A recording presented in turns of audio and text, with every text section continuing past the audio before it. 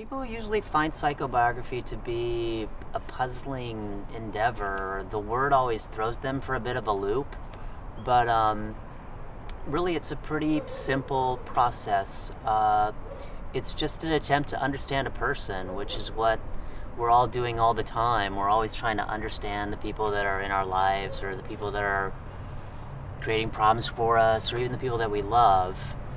Um, so psychobiography is really no different from the sorts of things we do all the time, uh, day to day, when we try to understand people that are important to us.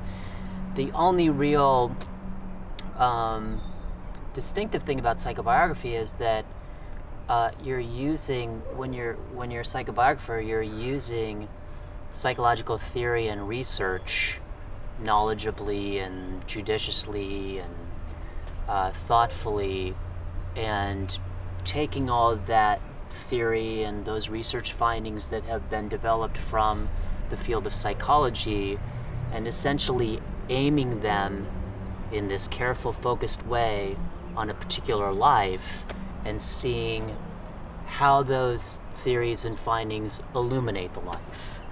So, what makes it a little bit different is just the background and psychological knowledge that the psychobiographer has when he or she is trying to figure out someone like Hitler or Sylvia Plath or Picasso or Van Gogh or, in my case, Truman Capote or Diane Arbus, people like that.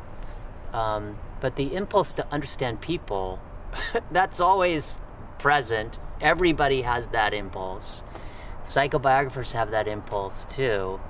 Uh, they're just they're just pursuing the impulse in a way that's maybe a little bit more formal or technical, but it's all coming from the same place, just an interest in people who are mysterious and for whatever reason important to us.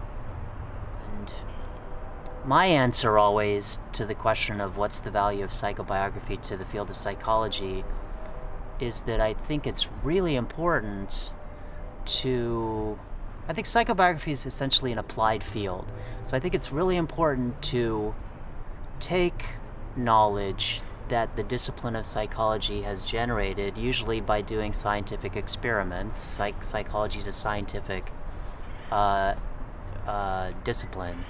But I think it's really important to take that knowledge and sort of test it out on a real life, a real person, not just leave it on a shelf or leave it in some ethereal place where it's never um, utilized, but it's it looks beautiful and it looks pristine and stuff.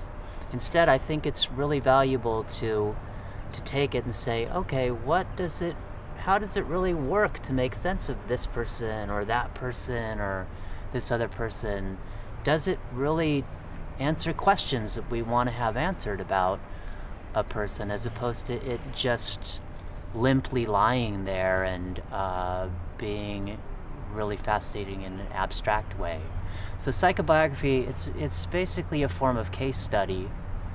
Uh, it's unlike a lot of other uh, types of psychology because most psychology is not focused on individuals.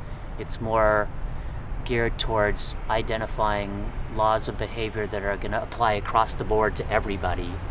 Um, so most psychologists are focused on universal patterns, but I think there's a really important place for the individual too in psychology, and focusing the findings on individual lives now and then, not all the time, but now and then, to see whether or not those findings reveal something that is valuable and that we really want to know about the person that we're investigating.